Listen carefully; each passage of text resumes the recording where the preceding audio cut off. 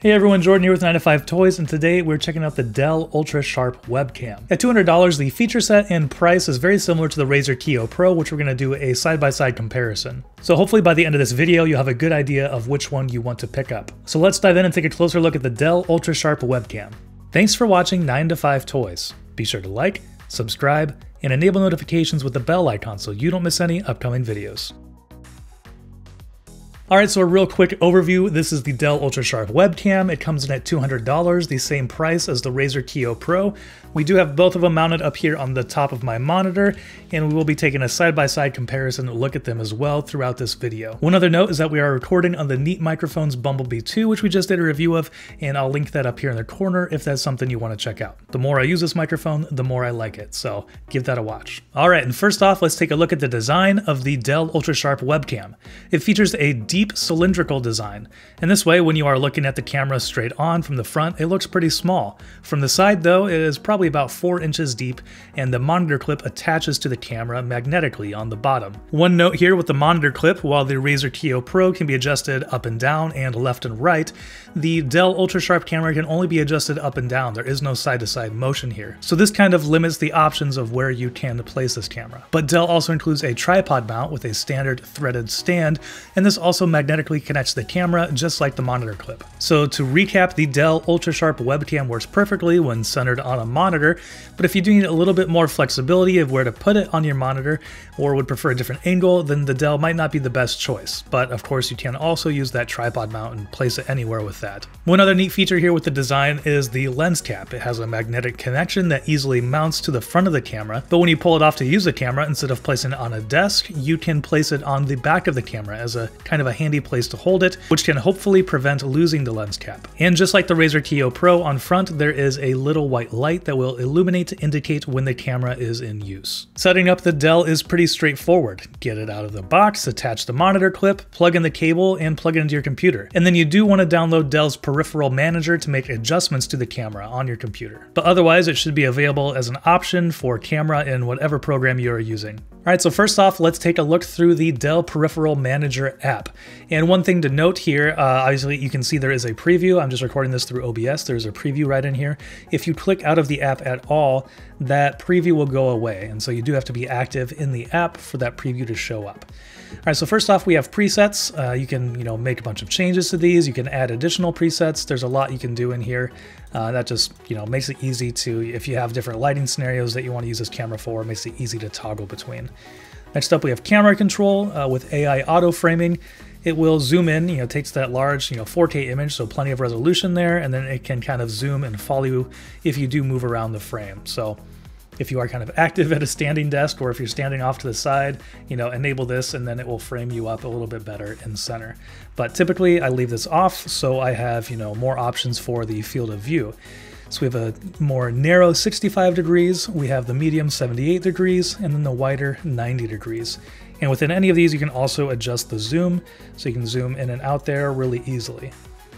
I'm just going to leave it at 78 degrees right in the middle though. And then we have autofocus, which has worked really well in my experience on the Dell uh, Ultra Sharp webcam. But if you do want to turn that off, you know, hard set your focus, that's really easy to do. So, you know, here it would be closer, and you can go further. So it's really easy to manually set your focus, but I've just left it on most of the time and it's worked very well in my experience in most lighting conditions. Next up, we have a priority for either exposure or for frame rate. So you know, if you're a streamer and really want to make sure that you're keeping that 60 FPS, put it on frame rate. But if you want to make sure that your exposure is always good, you know, if you're in a conference call and just want to make sure that your exposure is good, you can flip it over to exposure there. All right, so next off we have color and image. So one of the big features here is uh, HDR. And so we'll flip that on. I don't typically find myself using this very much though. There are definitely some tricky lighting scenarios where it does make uh, a big difference to uh, help with exposure. Uh, I don't usually like, you know, when there is some decent lighting in the room, I don't usually like what it does to my face. It kind of makes it a little more red, uh, which my face is red enough already. I don't feel like I need that. So for me personally, um, I typically turn that off. Uh, yeah, except for some tricky lighting scenarios, which we might take a look at here in a little bit. Then obviously we have auto uh, white balance, which you can manually set if you want. I usually leave it on auto. We have brightness, sharpness, contrast, contrast, saturation. Uh, the only one I really want to take a look at here is sharpness. Uh, obviously, we'll turn that all the way down, and it does soften things up, and then we'll turn it all the way up, and it definitely makes things sharper. You can see a lot more detail, um, like on my sweatshirt here. So I'll put it back uh, probably around like 40%, 45%. And then uh, we have an anti-flicker either at 50 hertz or 60 hertz. And then the last tab here uh, is a capture tab where you can set your different resolutions and frame rates. So this does do 4K. Uh, it's a, it seems like a really sharp picture and works really well it does 4K at 30 or 24 FPS. So if you do want that full 60 FPS, then you need to shoot at full HD or HD. So here I just switched it to full HD and I also put it up to 60 FPS. So this is going to give you a little bit smoother motion. Uh, it also uh, definitely isn't as high resolution as what the uh, 4K was as well. So here you could try playing with the sharpness to bring it up a little bit, though if you push it too far, it starts to look, you know, like that fake sharpness in my opinion. So I wouldn't probably take it above like 55 or something like that. All right, so back down in there, uh, we also have a countdown that you can enable, a 321 countdown. You can put on a framing grid if you want to make sure that you know you're always in frame.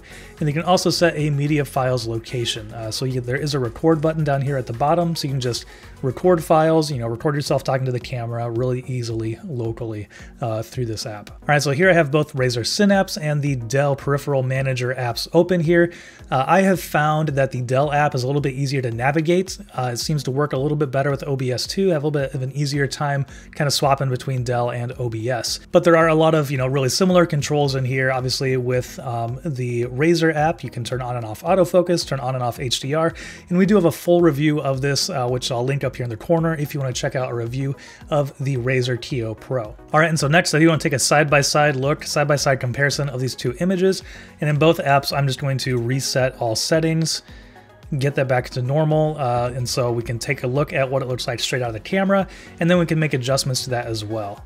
Uh, a couple of things I want to do here after doing that, you can see that the HDR turned on on the Razer. I'm going to turn that off and then also over here on the Dell, I'm gonna make sure that, that is disabled and which it is.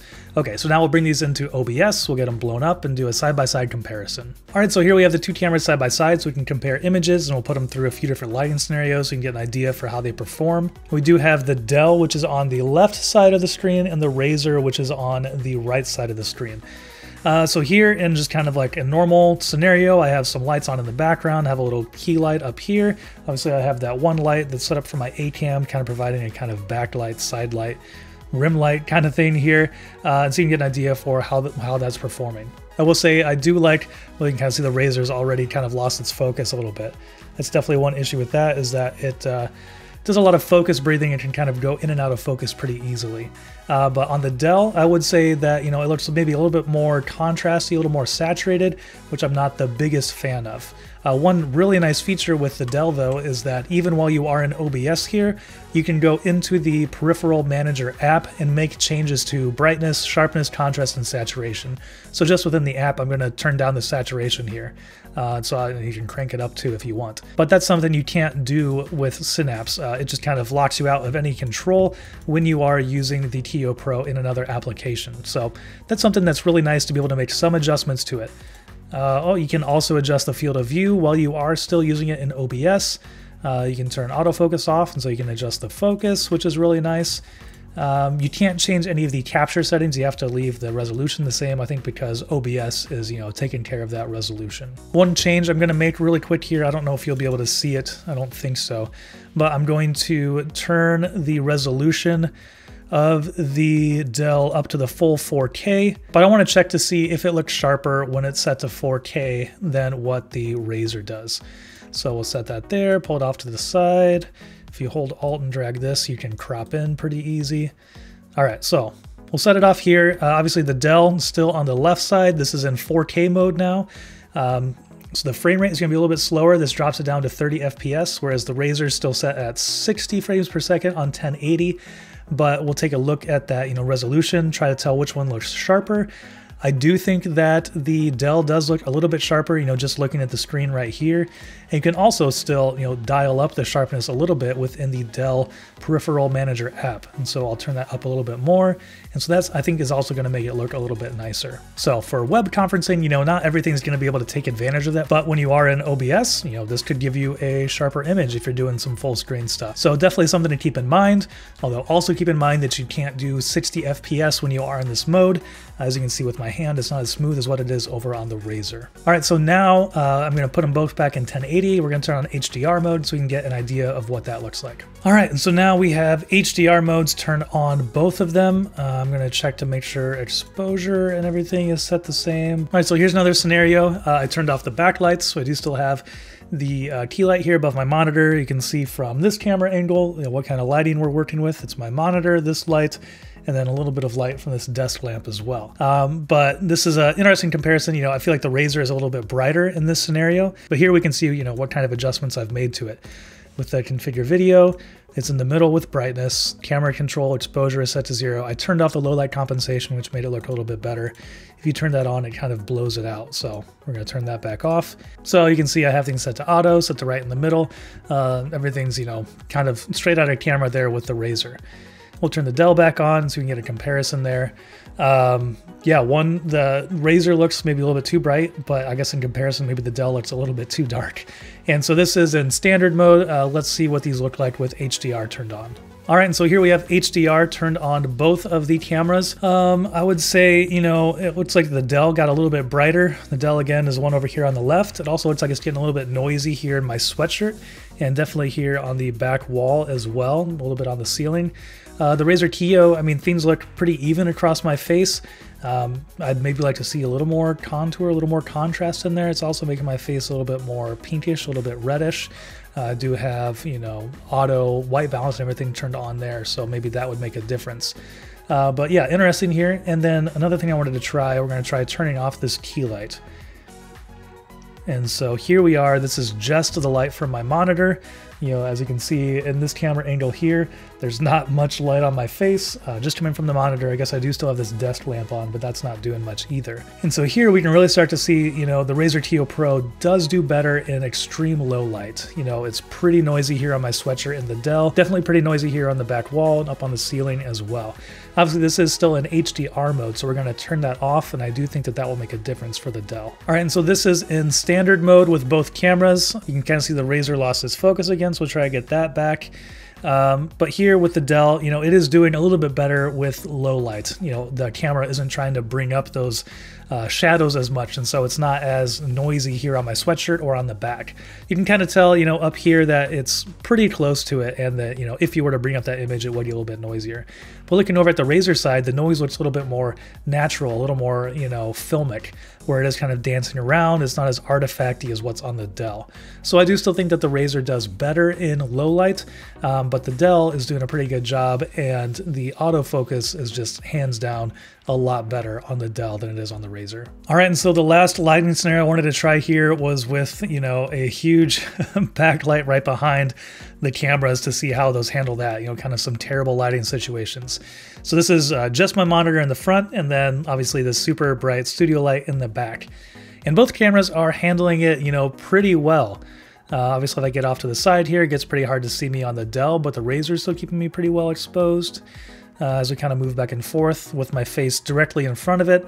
They both expose for my face, which is which is good. So, you know, if you were sitting in front of a window, I do think that they would do a decent job of exposing and, you know, picking up your face rather than the super bright light behind you. What's interesting here is I switched them both over to HDR mode and the Razer is having a heck of a time finding focus. It's like, yeah, it's having a very hard time there whereas the Dell is still working pretty well, you know, even in that uh, HDR mode. So just another interesting little comparison there. All right, so here we are back uh, with the normal lighting. Uh, I've got my key light on, I've got this kind of rim light, and I've got the light lighting up the studio in the background there. Both cameras are set back to default. Taking a look at the image again, you know, it definitely looks a little more saturated on the Dell. The one on the left here, you know, it's kind of pulling out my uh, skin tone a little bit more, making me look a little more red, a little more pink, which I'm not sure I'm that big of a fan of. And then the Razer looks a little more, you know, a little bit more flat. Uh, there's not as as much color in there. Obviously, you can, you know, dial up the saturation or dial it down on either of these cameras, but this is just kind of like the stock image. All right, well, I hope this comparison has given you a little bit of insight into how these two cameras perform. Um, uh, both feature sets are really strong for the $200 price point. I do think that they both have, you know, some unique features. The Dell camera, because I can do that 4K, it can get a little bit sharper, but if you're using this for streaming at 60 FPS anyways, then you are going to be limited to that 1080p. If I were to pick a camera, I think right now at this point, because of, you know, the ease of the software and how everything works, and then also the better focus performance, I think I would choose the Dell personally because I feel like it's a little bit easier to trust. You know, you don't have to check on it as often to tell if it's in focus or not. And I just find that the software is a little bit easier to use and it works better with OBS. You know, plays a little bit nicer with OBS. Picture quality wise, I think that maybe I like the color out of the Razer, you know, just in the standard mode. And then the Razer, you know, definitely does a lot better in super low light. So if you are recording, you know, in the absolute darkest darkest cave with just your monitor at all times, then, you know, maybe the Razer would be the better choice for you. But even with just a little bit of light, you know, the Dell looks really good. And in the standard mode, there isn't, you know, that much noise. It still looks good in super low light, just not quite as good as the Razer. But of course, another big factor here is pricing and, you know, trying to find sales and deals. So make sure you're locked to 9to5toys.com because we're posting all the best tech deals daily. All right, and that'll do it for this review of the Dell UltraSharp webcam. Let us know what you think about it down in the comments below. Thanks for watching. If you enjoyed this video, please give it a thumbs up and consider subscribing. This is Jordan with 9 to 5 Toys.